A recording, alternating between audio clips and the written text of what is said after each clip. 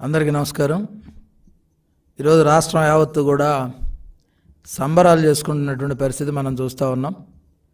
ఏదైతే ఐదేళ్ళ జగన్మోహన్ రెడ్డి పాలన పోయి నవ్యాంధ్ర నిర్మాత చంద్రబాబు నాయుడు గారి పాలన వచ్చిందని ఒక సంతోషంతో పాటు ఇచ్చినటువంటి ఐదు గ్యారెంటీల్ని ఎందుకంటే మొదటి సంతకంతోనే ఇచ్చినటువంటి హామీలు ఏవైతే ఉన్నాయో ఐదు హామీలను కూడా ఈరోజు అమలు చేస్తున్నటువంటి పరిస్థితి మనం చూస్తూ ఉంటే దీనిలో ప్రధానంగా ఏదైతే తెలుగుదేశం పార్టీ తన పేటెంట్గా ఈ రాష్ట్రంలోనే కాదు భారతదేశంలో కూడా చరిత్రలో నిలిచిపోయే విధంగా పరిచయం చేసినటువంటి పెన్షన్లు ఏవైతే ఉన్నాయో సామాజిక భద్రతా పింఛన్లని అన్న నందమూరి తారక రామారావు గారు ఈ దేశంలో ప్రవేశపెట్టినటువంటి సందర్భం తెలుగుదేశం పార్టీకి మాత్రమే పెన్షన్ల మీద పేటెంట్ ఉందనే విషయం మనందరం కూడా అర్థం చేసుకోవాల్సినటువంటి అవసరం ఉంది.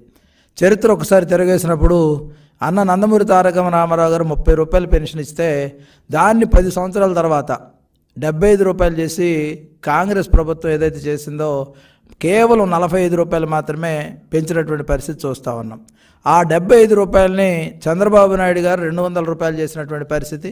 దాంతోపాటుగా గత ఎన్నికల్లో రెండు వేల పంతొమ్మిది ఎన్నికల్లో జగన్మోహన్ రెడ్డి పెన్షన్లు రెండు వేల నుంచి మూడు వేలు పెంచుతారని ఊదరగొట్టి ఆ మూడు వేల రూపాయలను కూడా దశల వారీగా పెంచినటువంటి పరిస్థితి మనం చూస్తూ ఉన్నాం. వృద్ధులు వికలాంగులు అదేవిధంగా వితంతువులు. అందరూ కూడా ఆ పెన్షన్ కోసం ఎదురు చూసి అప్పుడు రెండు వందల యాభై అప్పుడు రెండు వందల యాభై అని సంవత్సరానికి రెండు వందల యాభై రూపాయల చొప్పున పెంచి ఆఖరణ దిగిపోయే ముందు మూడు వేలు చేసినటువంటి పరిస్థితి మనం చూస్తూ ఉన్నాం.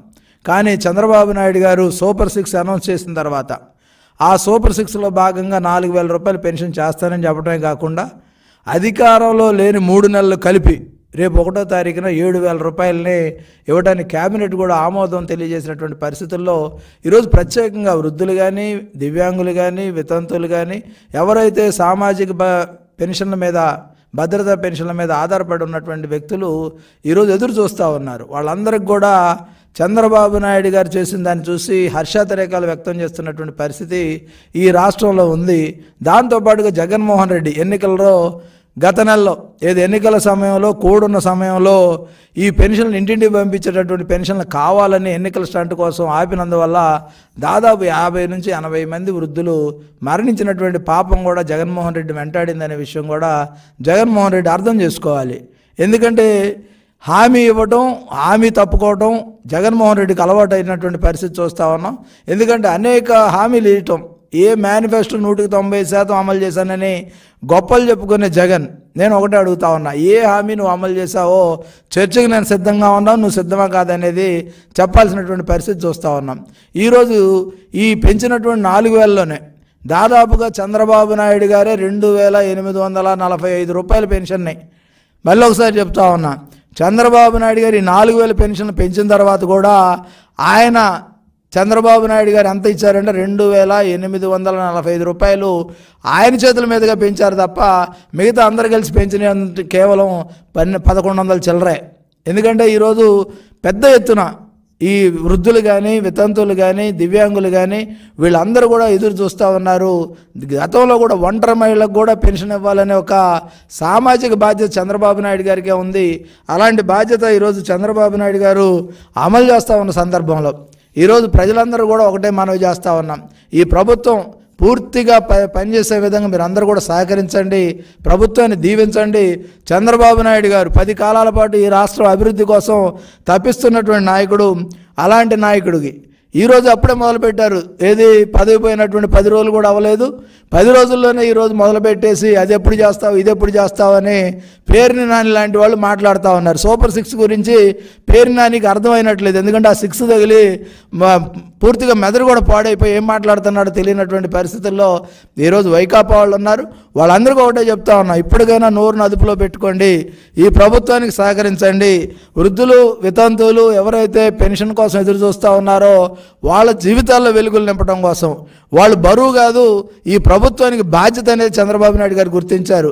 ఎవరైనా సరే వృద్ధులను కానీ వితంతువులు కానీ దివ్యాంగులను కానీ బరువుగా భావించే వాళ్ళందరికీ కూడా ఆర్థిక భరోసా కల్పిస్తే సామాజిక భద్రత కల్పిస్తే వాళ్ళు బరువు కాదు ఆ కుటుంబం యొక్క బాధ్యత ఈ ప్రభుత్వం తీసుకొని ఈ ప్రభుత్వం ద్వారా ఆ కుటుంబాలకు నాలుగు వేల రూపాయలు పెన్షన్ అందించి ఆ నాలుగు వేల రూపాయల పెన్షన్ ద్వారా వాళ్ళు బరువుగా భావించకుండా బాధ్యతగా భావిస్తారని చంద్రబాబు నాయుడు గారు ఈరోజు చేసినటువంటి పరిస్థితి చూస్తూ ఉన్నాం.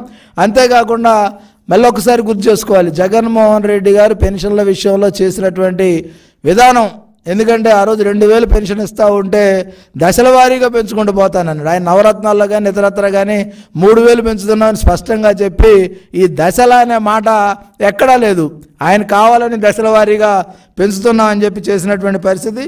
అంతేకాక రెండు వేల పద్నాలుగు జూన్ నాటికి ముప్పై తొమ్మిది లక్షలు ఉన్న పెన్షన్ని చంద్రబాబు నాయుడు గారు యాభై నాలుగు లక్షల ఇరవై ఐదు వేలకు పెంచినటువంటి పరిస్థితి. అదే కాకుండా జగన్మోహన్ రెడ్డి కూడా ఎక్కడా కూడా పెన్షన్లు పెంచినటువంటి పరిస్థితి లేదు. ఈరోజు డప్పు కళాకారులు కానీ చెప్పులు కుట్టేవాళ్ళు కానీ చర్మకారులు కానీ ఈరోజు గౌరవంగా బ్రతికే బ్రతకాల్సినటువంటి ఎవరైతే సమాజానికి దూరంగా ఉన్నటువంటి వ్యక్తులు సమాజాన్ని దూరంగా పెట్టినటువంటి వ్యక్తులు ఈరోజు వాళ్ళు గౌరవప్రదంగా బ్రతికే విధంగా చంద్రబాబు నాయుడు గారు డప్పు కళాకారులకి చెప్పులు కుట్టే వాళ్ళకి చర్మకారులకు కూడా పెన్షన్ ఇచ్చి తన ఉదారత చాడుకున్నటువంటి వ్యక్తి చంద్రబాబు నాయుడు గారు ఈరోజు కూడా చంద్రబాబు నాయుడు గారికి మనవి చేస్తూ ఉన్నాం. ఇంకా గుర్తించాల్సినటువంటి డప్పు కళాకారులు కానీ చెప్పులు కుట్టేవాళ్ళు కానీ చర్మకారులు కానీ ఎవరైతే గౌరవప్రదంగా ఈ సమాజంలో బ్రతకాలనుకున్నారో వాళ్ళందరినీ కూడా మళ్ళీ కూడా కొంతమందిని యాడ్ చేయాల్సినటువంటి అవసరం ఉంది. దాన్ని కూడా చేయాల్సినటువంటి పరిస్థితి అనేది కూడా మా పార్టీ ద్వారా మేము కూడా చంద్రబాబు నాయుడు గారికి తెలియజేయడం జరుగుతూ ఉంది. అదేవిధంగా ఈ పెన్షన్లన్నీ కూడా ఒకటో తారీఖున కార్యాలయాల్లో ఎవరైతే సచివాలయాల్లో ఉన్నటువంటి వ్యక్తుల ద్వారా ఇంటింటికి పంపడం జరుగుద్ది. ఒకటో తారీఖు అందరికి అందిస్తాం. ఎక్కడా కూడా ఎవరో కూడా తొట్టుబాటు పడద్దు తొందరపడద్దు. చెప్పే మాటలు ఏదైతే జగన్మోహన్ రెడ్డి అనుకో చెప్పే మాటలు ఎవరు కూడా నమ్మొద్దు.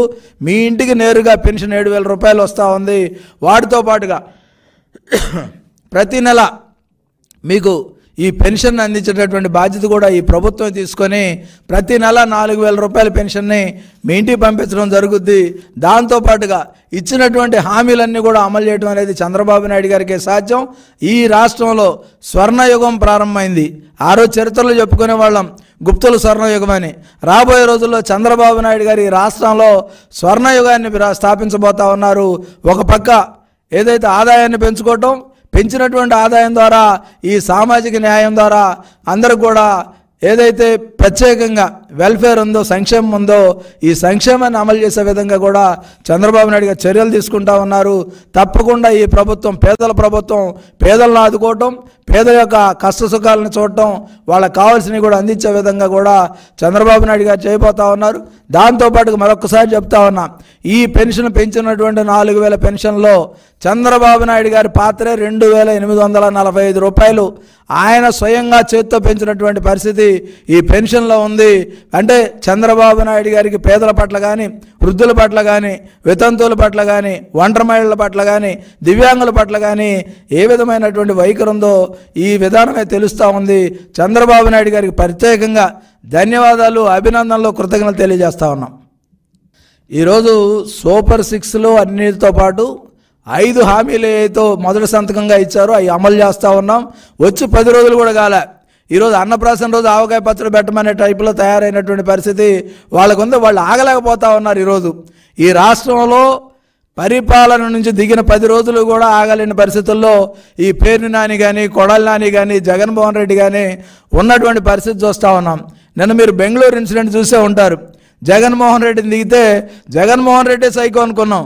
ఆయన అనుచరులు కూడా జగన్మోహన్ రెడ్డిని కూడా సైకో అన్నారు. వాళ్ళు కూడా సైకోలుగా మారిన పరిస్థితి చూస్తూ ఉంటే ఈ రాష్ట్రం పరిస్థితి వాళ్ళు కనీసం తెలుగుదేశం పార్టీ పేరు కానీ పెంచినటువంటి పెన్షన్ల గురించి కానీ లేదా అమలు చేయబోయేటటువంటి సూపర్ సిక్స్ కానీ వీటి గురించి మాట్లాడే అర్హత వాళ్ళకి లేదు.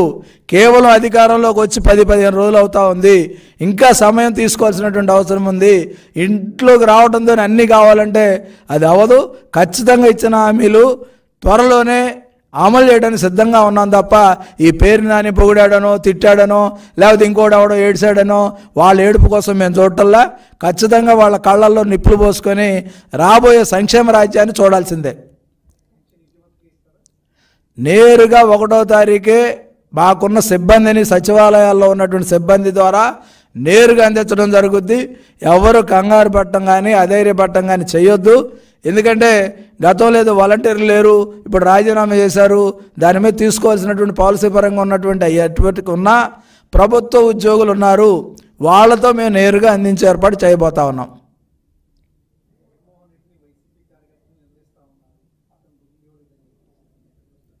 జగన్మోహన్ రెడ్డి ఆదరాబాదరాగా తన అనుయాయులకు పెద్ద మొత్తంలో అందించాల్సినవి అందించేశాడు చిన్న చిన్న కార్యకర్తలు అన్నీ కూడా ఆగిపోయినటువంటి పరిస్థితి.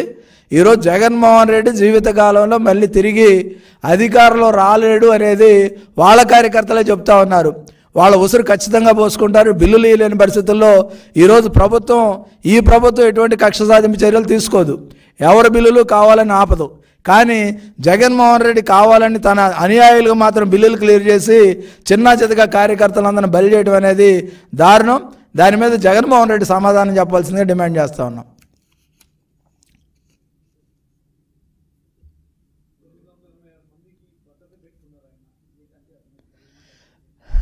జగన్మోహన్ రెడ్డికి మొదటి నుంచి కూడా భయం ఉండబట్టే పరదాలు పెట్టుకున్నారు. ఈరోజు సెంట్రల్ జైలుకు కూడా లేనటువంటి సెక్యూరిటీ తన ఇంటికి పెట్టుకున్నటువంటి పరిస్థితి. దాంతోపాటు హెలిప్యాడ్ కూడా ఇంట్లోనే ల్యాండ్ అవుద్ది ఆయనకి. హెలికాప్టర్ కూడా హెలిప్యాడ్ కూడా ఇంట్లోనే పెట్టుకొని ఇంట్లోనే ల్యాండ్ అయ్యే పరిస్థితి చూస్తే పూర్తి అభద్రతతో జగన్మోహన్ రెడ్డి ఉన్నాడు. ఎందుకంటే ఈ కోడి కత్తులు ఇవన్నీ డ్రామాలన్నీ చేసి అయిపోయినాయి. అవి కానీ రేపు రాబోయే రోజుల్లో జగన్మోహన్ రెడ్డి వల్ల ఇబ్బంది పడినటువంటి వ్యక్తుల వల్ల కానీ లేకపోతే అవినాష్ రెడ్డి వల్ల కానీ లేదంటే వాళ్ళ బాబాయిని చంపిన దానిలో ఆయన పాత్ర మీద కానీ ఆయనకి ఏమైనా అభద్రత ఉంటే ఉండొచ్చు. ఆ అభద్రత ద్వారానే ఈరోజు తొమ్మిది వందల పైగా తొమ్మిది వందల ఎనభై మంది సెక్యూరిటీ అంటే ప్రధానమంత్రికి కూడా అంతమంది ఉంటారో ఉండరో తెలీదు.